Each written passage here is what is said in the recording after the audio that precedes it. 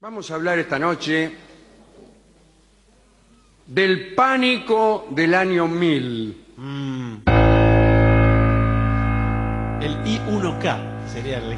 El novelista y dramaturgo sueco Johan Strindberg dice, leo Strindberg, el año 999 llegaba a su fin y la humanidad vivía en medio de los mayores terrores. En Roma y sus alrededores la vida estaba paralizada, la tierra no se cultivaba, las tiendas estaban cerradas y el comercio abandonado. Los ricos regalaban sus riquezas, las iglesias permanecían abiertas día y noche y todos los días parecían ser días de holganza. Los hombres vestían sus mejores galas, pues deseaban recibir al Salvador de una manera digna. Ya no se temían los robos ni los engaños, no se reclamaban deudas, hasta que por fin llegó la noche de San Silvestre, el último día del año. Los enemigos, hasta entonces irreconciliables, se daban la mano. El siervo y el Señor se abrazaban llorando. Las campanas de la iglesia dieron la medianoche. Y tras unos minutos de estupor, viendo que nada sucedía, esas campanas repicaron alegremente y los fieles cantaron llorando de alegría. Ahora bien, todo esto escribe Steinberg y todo esto es mentira. Strindberg habla del 31 de diciembre, el último día del año, que como veremos, en ningún caso podía ser el último día del año 999. Es porque precisamente los efluvios del romanticismo pusieron de moda desenterrar el tema de los terrores del año 1000 sin fijarse demasiado en la autenticidad de las fechas. Ahora bien, ¿cuál era el año 1000 de la era cristiana? Y más aún, ¿cuál era el primer día del año 1000? En Europa, en el siglo X, aún se estaba estableciendo la era cristiana, todavía no estaba tan establecida. Es una era que fue inventada por Dionisio el Exiguo en el año 550, pero no se implementó totalmente hasta el siglo XI en el mundo cristiano. Dioniso el Exiguo era un abad romano que calculó el nacimiento de Cristo situándolo en el año 753 de la era romana. O sea, en el año 753 después de la fundación de Roma, que era una fecha que estaba perfectamente establecida. Según Beda el Venerable, un monje benedictino inglés de la Edad Media, se equivocó Dionisio en dos años. Sería en el 751, es decir, dos años antes del cálculo de Dionisio. Actualmente se sabe que Jesús nació en realidad en el año 6 antes de Cristo. Además, en el año 999 los distintos países europeos tenían calendarios muy diferentes.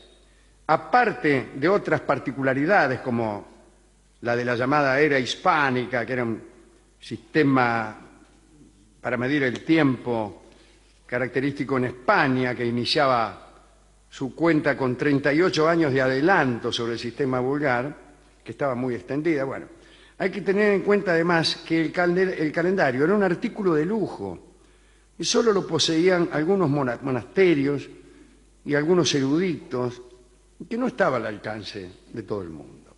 Humberto Eco sostiene que en Europa el periodo que va desde el siglo VII al X es el periodo de mayor inseguridad y desolación que haya sufrido el continente.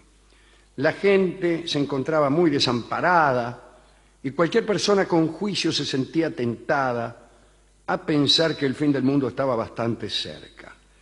Desde la caída del Imperio Romano, que fue eh, este, en el siglo V, hasta el Renacimiento posterior, la Edad Media es una época de cansancio y desolación Basta tener en cuenta el modo de vida desde un punto de vista material más que cultural, desde el siglo V hasta el siglo X, como muestra más que elocuente sobre el porqué de la actitud apocalíptica de estas personas.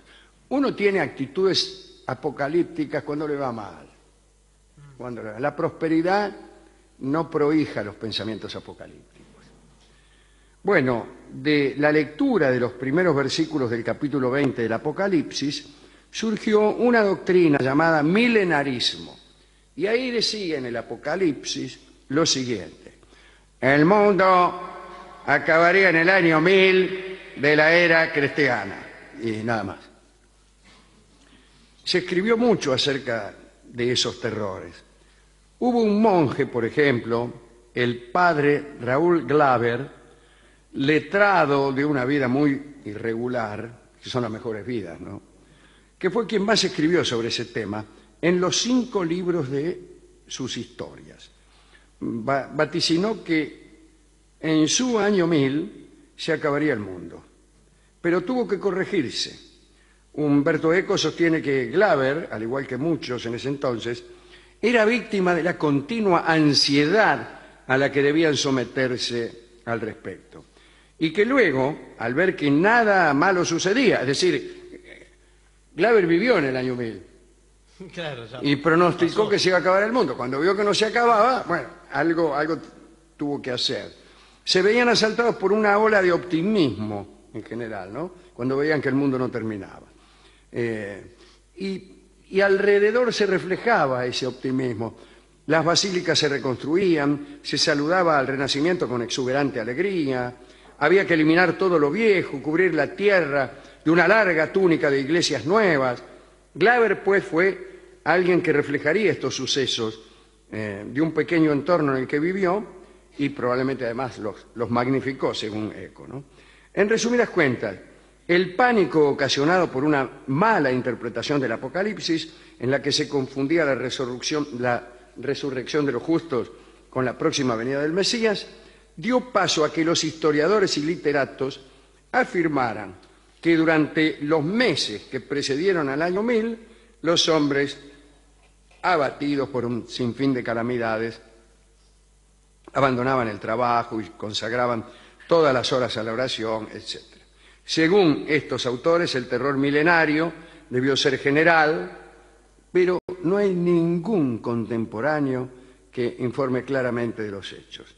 La Iglesia no guarda ningún documento en el que consten institucionalmente los terrores atribuidos a los últimos meses de 999 o a los primeros de 1000.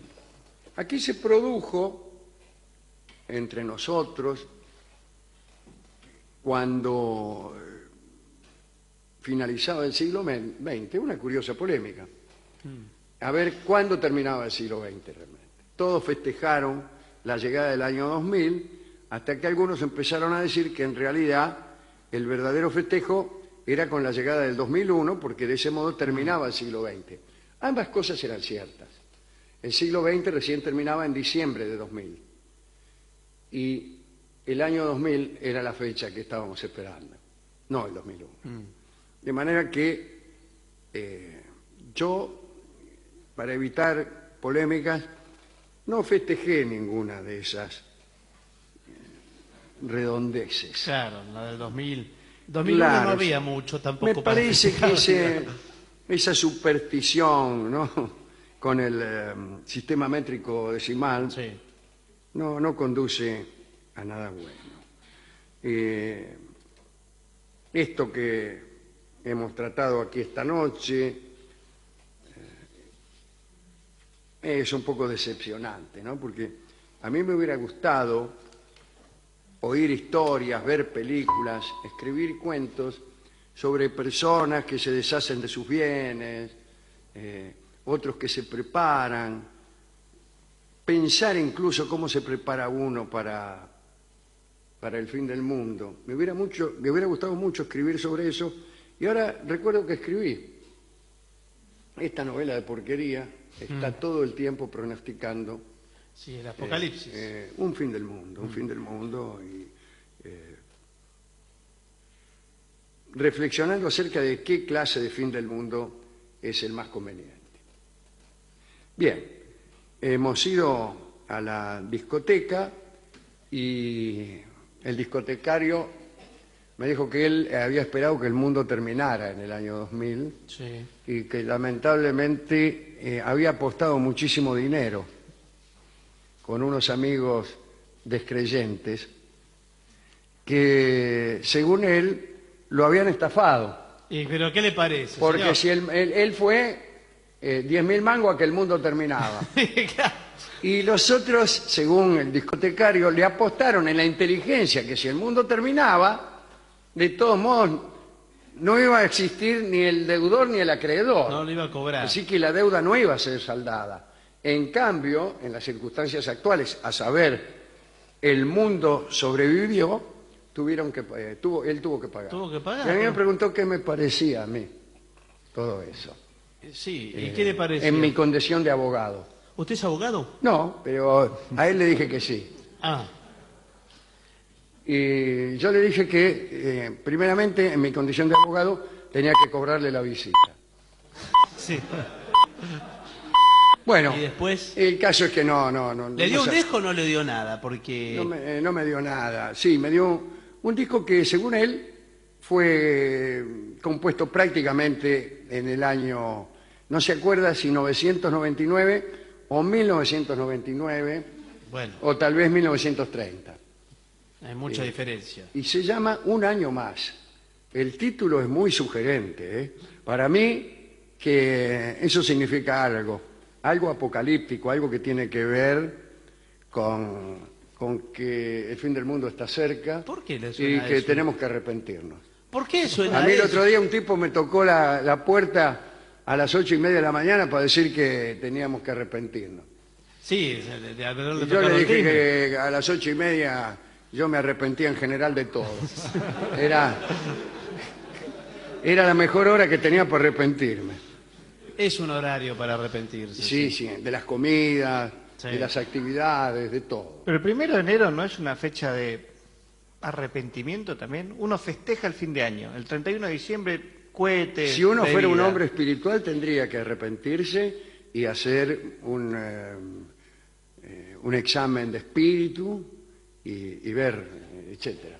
Yo no hago porque mayormente no, no me importa. Eh, bueno, está bien, señor, pero Bueno, y el disco se llama Un año más, un año más. un año más. Lo escucharemos ahora mismo en la versión clásica de Carlos Gardel.